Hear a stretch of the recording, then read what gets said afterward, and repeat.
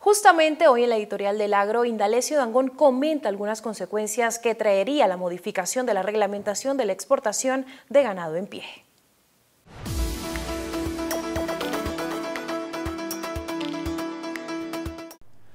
Ha caído como un baldado de agua fría en el sector ganadero eh, el proyecto de resolución que el ICA ha radicado ante la Organización Mundial del Comercio, solicitando prácticamente una restricción técnica de las exportaciones de ganado en pies.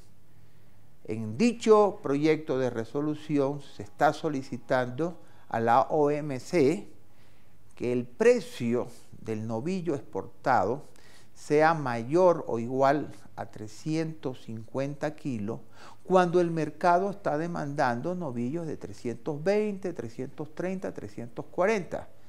Además están solicitando reducir la capacidad de los animales en los barcos de 10.000 a 7.000, lo cual hace inviable el negocio de exportación de ganado en pie.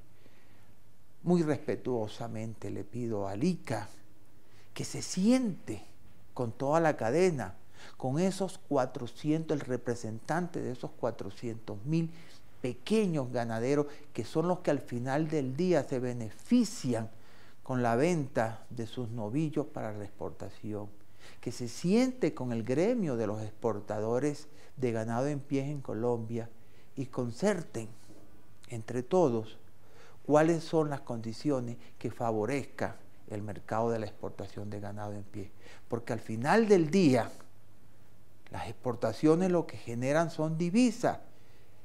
Y las divisas generan mayores ingresos fiscales al país. Pero también las exportaciones generan desarrollo económico y mejor calidad de vida en nuestras zonas rurales.